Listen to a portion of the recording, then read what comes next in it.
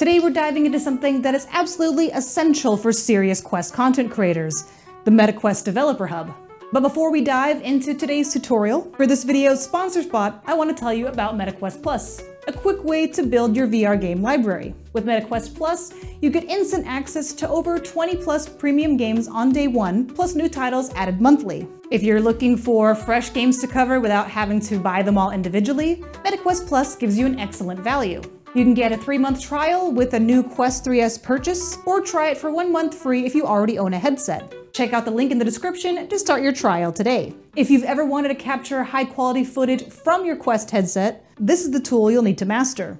First things first, you can't use the MetaQuest Developer Hub without being registered as a developer first. But don't worry, you don't actually need to be a developer in order to do this. Head over to developer.oculus.com slash manage slash organization slash create and make sure you're also logged in with the account tied to your Quest. They may ask you to verify your account by setting up two-factor or by adding a credit card. This is just for verification. They won't actually charge you anything. Once you're verified, you'll create an organization name, it can be anything, even just your name, and accept the NDA.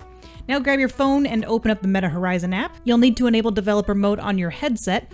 With your headset turned on, tap the devices icon, select your Quest, and scroll down until you find developer mode.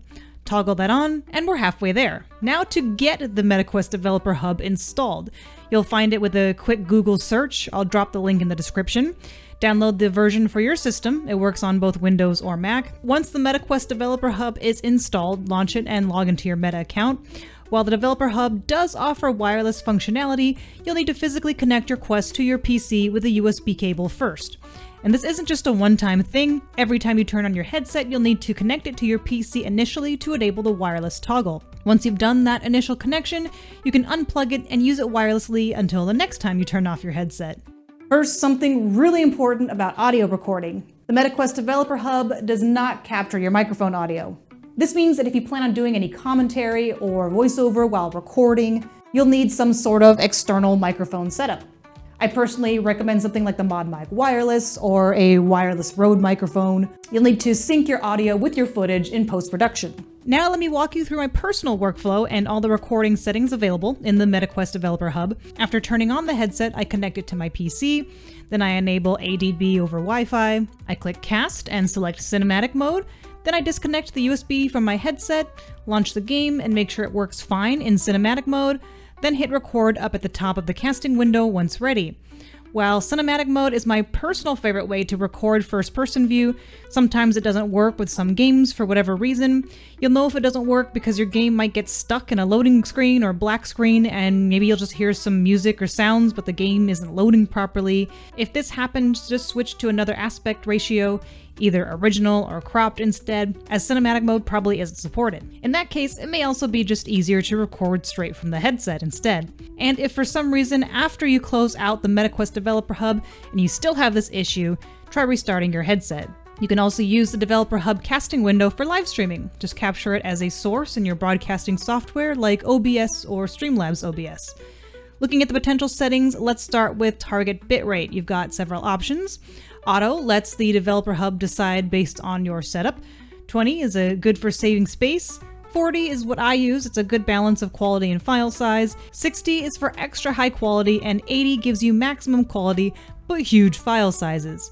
For target frame rate, you can choose auto, which adapts to your game, 24 frames per second, 30, it's smooth enough for most content. 60 is great, super smooth, and best for fast-paced games.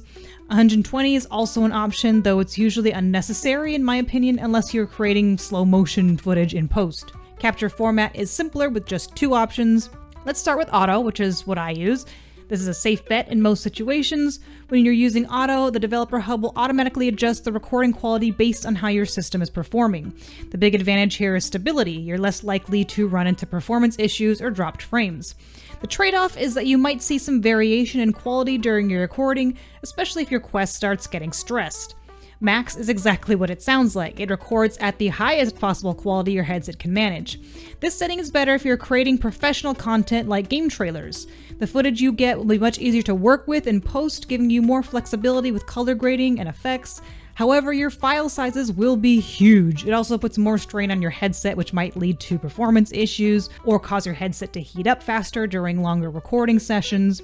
For cropping, you've got three choices original or square format cropped and cinematic, which is my preferred option when it works. It gives the best looking output with a wider field of view. Also remember to set your selected eye to match your dominant eye. This can help make your recordings look more centered, especially for shooting games when you look down a sight.